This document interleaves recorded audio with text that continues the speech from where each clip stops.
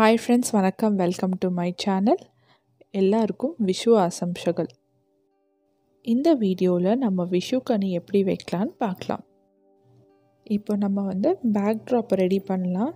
இந்த back drop ready பண்ணுறதுக்கு ஒரு வெள் வெள்ளை வேஷ்டி ஒன்று வந்து பின்னாடி கட்டியிருக்கேன். அதில் வந்து இந்த மாதிரி கொன்னப்பூ வந்து ஒரு சின்ன கிளிப் யூஸ் பண்ணி இதில் வந்து கிளிப் பண்ணி ஒரு பேக் ட்ராப் வந்து க்ரியேட் பண்ணியிருக்கேன்.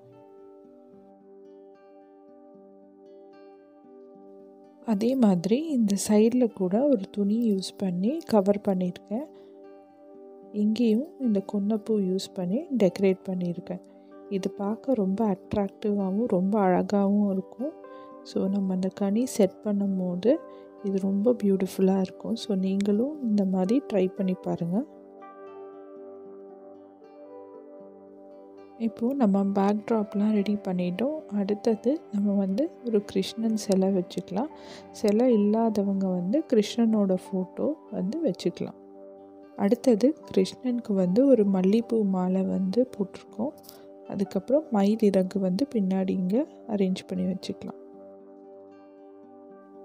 இந்த ஸ்டாண்டோட ரெண்டு சைடில் விளக்கு வச்சுருக்கேன். இது யூஸ்வலாக நாங்கள் வந்து கிருஷ்ணன் வைக்கும் போது இந்த ரெண்டு விளக்கையும் எப்பவுமே இருக்கும். அதனால நான் அப்படியே இந்த விளக்கை இங்கே வச்சுருக்கேன்.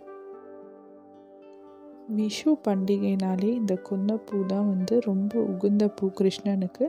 அதனால் ஒரு ரெண்டு மூணு கொந்தப்பூ எடுத்து இந்த மாதிரி கிருஷ்ணன் மேலே வந்து வச்சுக்கலாம். அடுத்தது கிருஷ்ணனோட ஓடக்குழில் வந்து ஒரு சைடில் வச்சுக்கலாம். அடுத்தது ஒரு சின்ன டேபிளில் ஒரு துணி விரிச்சுக்கோங்க. அதில் கொஞ்சம் கொன்னப்பூ வந்து நான் வந்து மேலே தூவியிருக்கேன். நெக்ஸ்ட்டு ஒரு உருளி வந்து ப்ளேஸ் பண்ணிக்கலாம். அதில் வந்து நம்ம பச்சரிசியை வந்து ஆட் பண்ணிக்கணும். அதுக்கப்புறம் இந்த பச்சரிசியில் வந்து கொஞ்சம் நெல் போடணும். நான் நெல் வந்து தனியாக எடுத்து வச்சுருக்கேன். ஏன்னா இது மிக்ஸ் பண்ணால் எடுக்கிறது கஷ்டம். அதுக்கப்புறம் இது வந்து வெள்ளரிக்காய். கடையில் கேட்டால் கிடைக்கும். இது மலபார் வெள்ளரின்னுவாங்க. அடுத்தது கதளிப்பழம் கிருஷ்ணனோட ஃபேவரட்டான ஃப்ரூட் அதுக்கப்புறம் பலாப்பழம். இது வந்து கணபதி பகவானுக்கு ரொம்ப பிடிச்ச பழம். அப்புறம் மாம்பழம் முருகனுக்கு.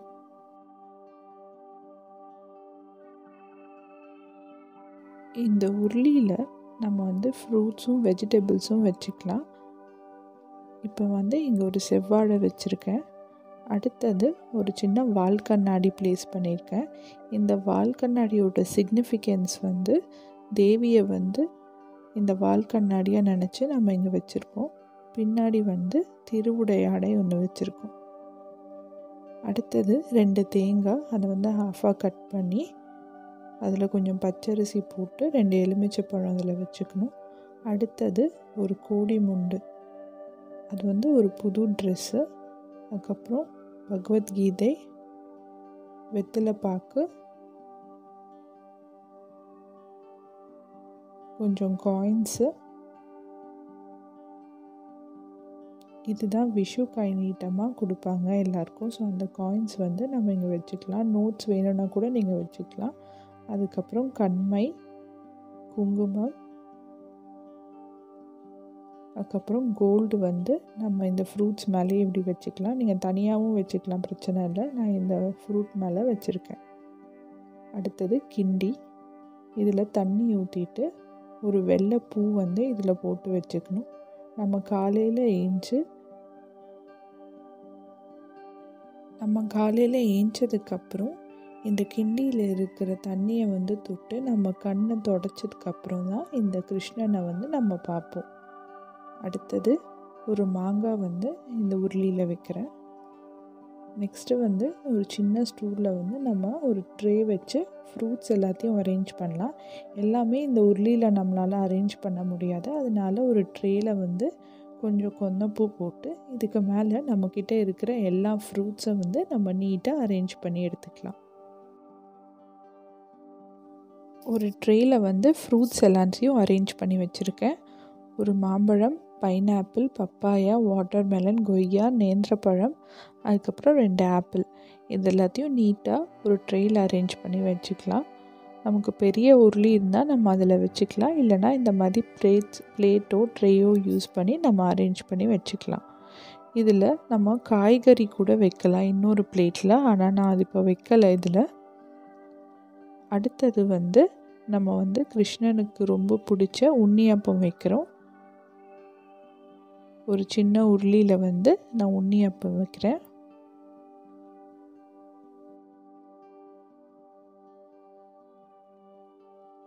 அதுக்கப்புறம் பகவத்கீதை மேலேயும் கொஞ்சம் கொன்னப்பூ வந்து நம்ம வந்து தூவிக்கலாம். அதுக்கப்புறம் இந்த கோடி முண்டு மேலேயும் வந்து நம்ம இதெல்லாம் தூவிடலாம்.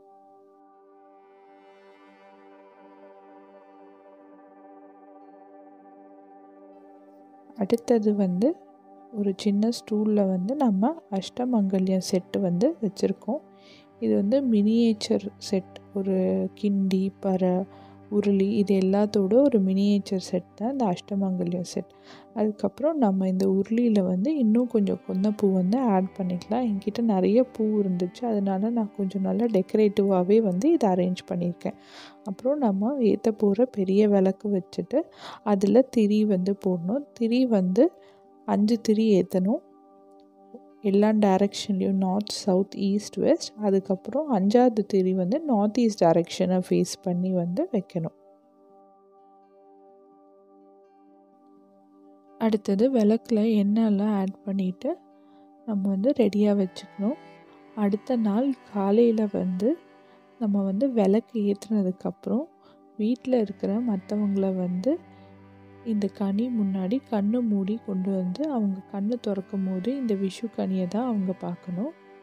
ஸோ நம்ம அதுக்கு முன்னாடியே நைட்டே வந்து இது எல்லாத்தையும் நம்ம ரெடி பண்ணி வச்சிடணும்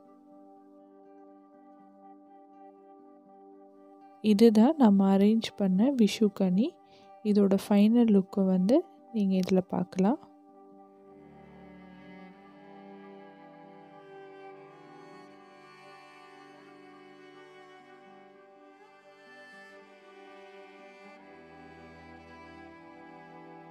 இப்போது இந்த விஷு கனியை வந்து நம்ம அரேஞ்ச் பண்ணிட்டோம்.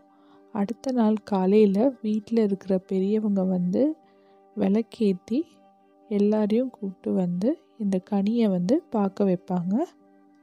அதுக்கப்புறம் அங்கே இருக்கிற காயின்ஸ் எடுத்து எல்லாருக்கும் விஷு கை நீட்டமாக வந்து இதை கொடுப்பாங்க. இந்த வருஷம் நம்ம எல்லாருக்கும் வந்து ஒரு நல்ல வருஷமாக அமையணும்னு நம்ம எல்லாரும் மனசார கிருஷ்ணனை வந்து வேண்டிக்கலாம்.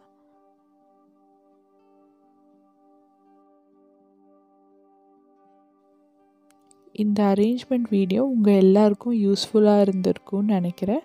உங்களுக்கு இந்த வீடியோ பிடிச்சிருந்ததுன்னா லைக் பண்ணுங்கள் ஷேர் பண்ணுங்கள் என் சேனலை மறக்காமல் சப்ஸ்கிரைப் பண்ணிடுங்க.